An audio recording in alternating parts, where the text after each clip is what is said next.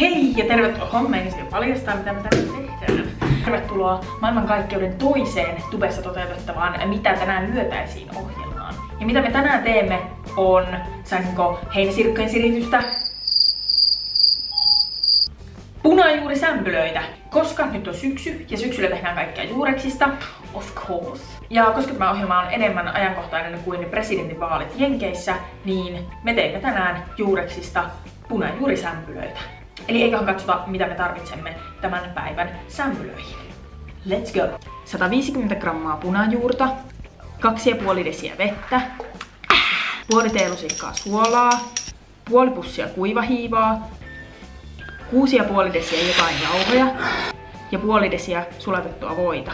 Eli ensimmäisenä kuoretaan ja raastetaan nämä punajuuret. Ja kun minulla koska ei ole mitään keittiövaakaa, niin minulla ei ole mitään hajua, että miten paljon on 150 grammaa punajuuria.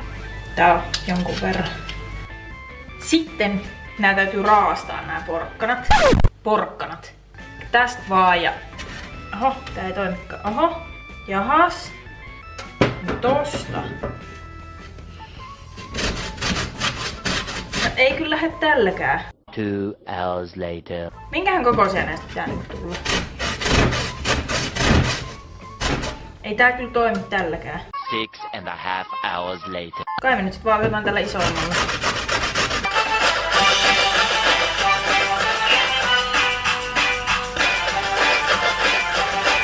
Sitten tänne noin 42 asteiseen veteen sekoitetaan noin puolet näistä jauhoista, johon on sekoitettu hiiva ja suola. Oho, tää pöllyä. Jahas.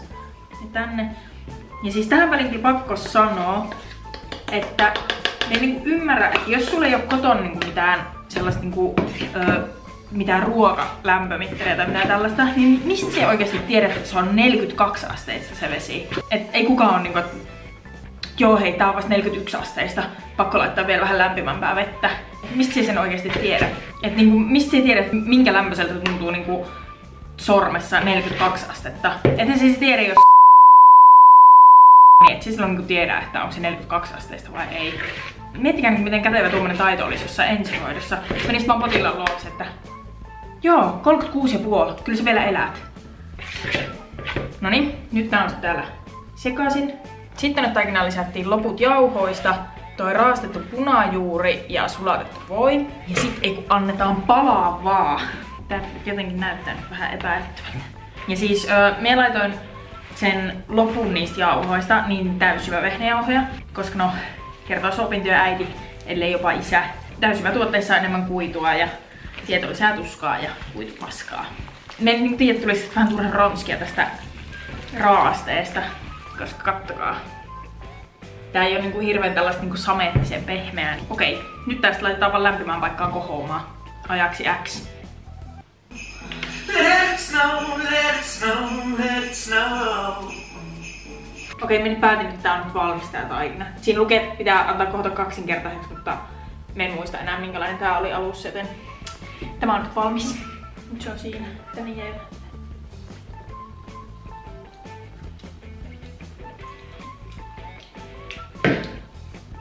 Okei. Okay. annetaan vähän runtua tälle.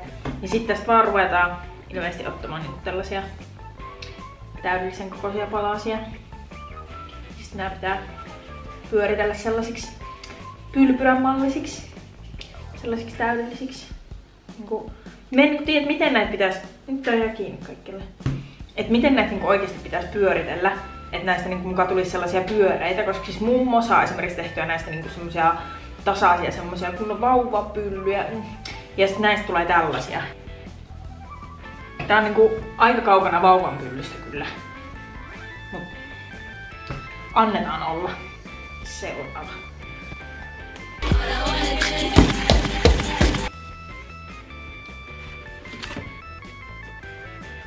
Sitten laitetaan nämä kaunokaiset uuniin ja toivotaan parasta.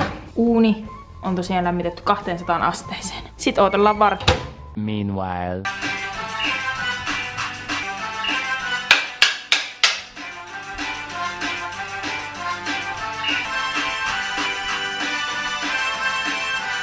15 minutes later.